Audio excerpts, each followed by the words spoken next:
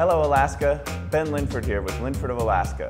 We're celebrating 50 years with a greatest hits tour of great Alaskan restaurants and recipes.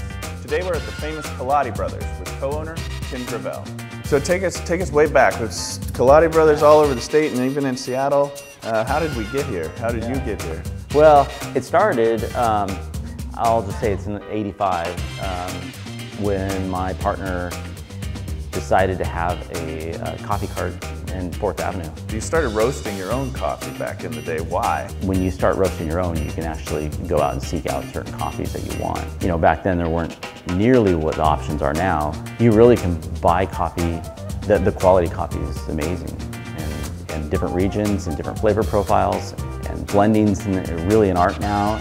All right, we have Kaladi's master of coffee, Alex, gonna make the perfect latte. We're going to be making a 12 ounce Kaladi latte, which requires about an ounce of syrup. We need our Trieste blend of espresso.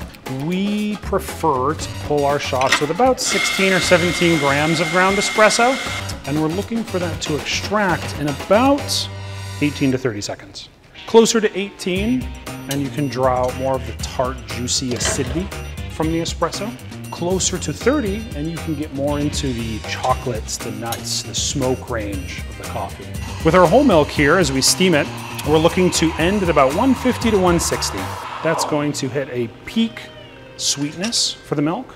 Lastly, we bring it all together. There are as many different ways to pour a latte as there are baristas working in the industry. I like to keep it simple with a nice little rosetta. It's fun, it wiggles, and it always gets a wow from the customers. Featuring Alaska's most iconic recipes, pre-order the Greatest Hits cookbook today.